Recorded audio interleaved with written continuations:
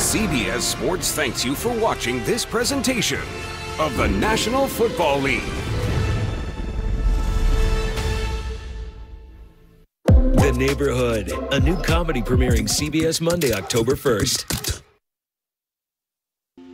Baseball practice was amazing today. But the best part, I was catcher and Carson Reward yourself with a much deserved gift.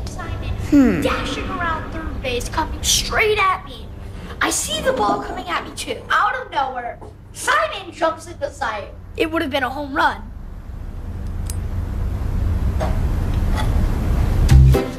Honey Sesame Chicken Breast is back at Panda Express, where good fortune smiles. Ready for a great night's sleep? At Mancini Sleep World, we're all friends and family. So right now, we invite you to save big during our Friends and Family sale. Enjoy special pricing on luxurious comfort, including Sealy Posturepedic, handcrafted heirloom, Perfect Sleeper, Beauty Rest, and adjustable comfort. You'll rest easy with free delivery, free setup, free mattress removal, and no interest for up to 48 months. There's a limited supply, so hurry into one of our 33 stores for our special friends and family pricing. Mancini Sleep World, visit sleepworld.com.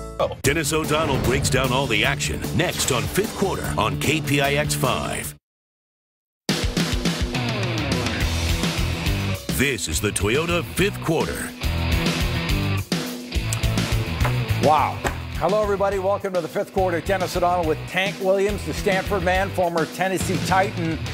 The Raiders and Broncos in a thriller, and after coming off uh, Monday night, extremely disappointing performance.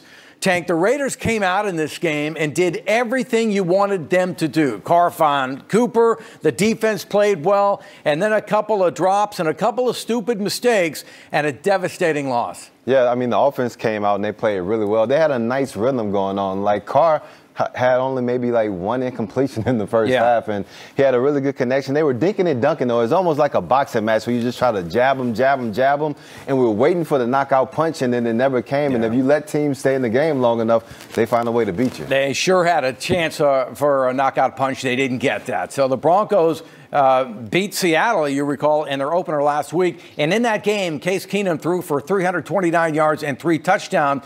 But he was also picked three times. So it was an opportunity. Temperatures on the field.